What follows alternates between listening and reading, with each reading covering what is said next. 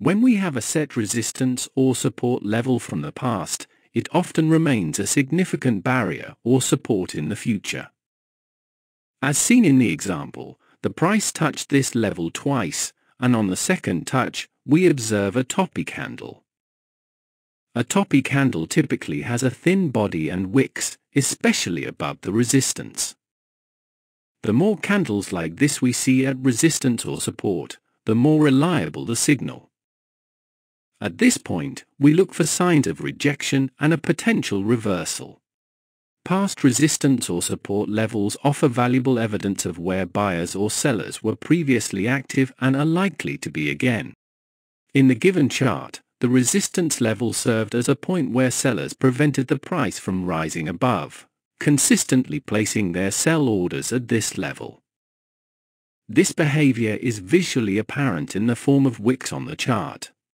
The more times the price touches a resistance or support level, the greater the likelihood that it will eventually break through. This is because, over time, sellers or buyers tend to exhaust their efforts. It's akin to chopping down a tree, you're uncertain when it will finally give way and fall. Similarly, with resistance and support levels, we can't predict when the next touch will push it entirely through. One challenge of playing these rejections is the uncertainty of how far the price will pull back from the resistance or support. The general rule is that on the third touch of a significant level, there's often a follow-through beyond that level. Examining the example above, the price did experience rejection in the short term, but there's a possibility that it could break through to higher levels later on. This underlines the importance of monitoring price action and considering potential breakthroughs after multiple touches of a crucial level. The riskier entry for this trade would be at the first touch of the support line. A safer entry point would be the actual rejection of the support.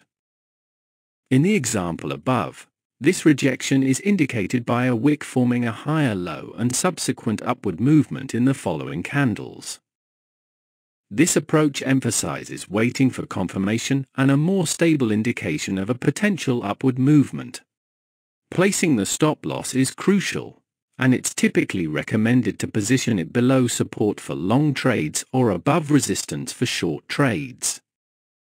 The amount that traders are willing to risk should be determined based on their assessment of potential profits. This aligns with the principle of balancing risk and reward in trading decisions. For a short-term exit, consider exiting at the first consolidation zone or a 50% retracement of the prior move. The mid-term exit strategy involves aiming for a 100% retracement of the preceding move. As for the long-term exit, it may be prudent to exit when there's a break to new highs and a continuation of the trend. These exit points cater to different time frames and provide strategic guidelines for traders with varying trading preferences. Thank you for watching. If you enjoyed this video, don't forget to give it a thumbs up and subscribe for more content. If you're hungry for more trading insights and strategies, hit that subscribe button now. Stay tuned because I'll be back with another trading strategy video soon. Have an awesome day and happy trading.